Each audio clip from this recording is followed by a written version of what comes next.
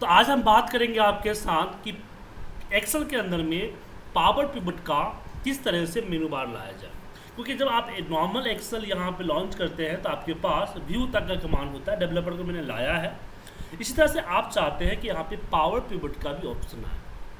क्योंकि one time आपको लाना पड़ेगा एक्सेल की जब इंस्टॉल करते हैं तो डिफ़ॉल्ट नहीं होता है। तो कैसे लाएँगे? तो मैं पहले तो बता दूँगा आपको कि आपको 2003 से 16 और 18 में मिलेगा। 2010 में इंस्टॉल करना पड़ता है 2007 उससे पहले में नहीं है।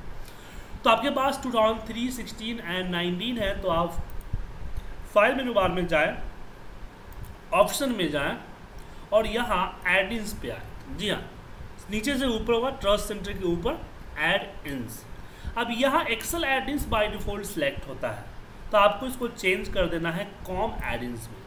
फिर इसके बगल में गो है, उस गो पे बटन पे क्लिक कर दीजिए तो आपको तीन चार ऑप्शन यहाँ दिखेगा। जैसे कि आपको डेटा स्टीमर मैप और पावर पिवर तो आपको बस माइक्रोसॉफ्ट पावर पिवर पे क्लिक कर देना है एंड ओके कर देना है। थोड़ा सा टाइम लेगा। मेरा तो फटाक से हो गया क्योंकि मेरे पास एसएसडी ड्राइव लगा हुआ है और बीस जी का रैम है, इसलिए जल्दी हो गया।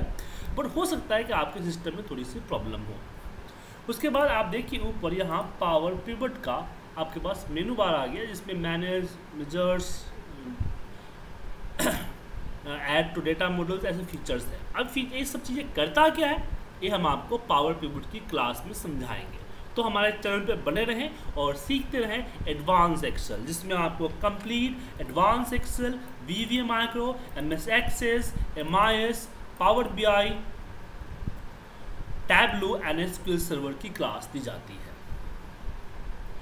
और साथ ही मेरा मोबाइल ऐप भी डाउनलोड कर सकते हैं। इस वीडियो के नीचे डिस्क्रिप्शन लिंक पे दिया हुआ है। ऐप डाउनलोड कीजिए, जहाँ पे सारे वीडियोज़ आपको सिक्वेंस में मिलेंगे। Thank you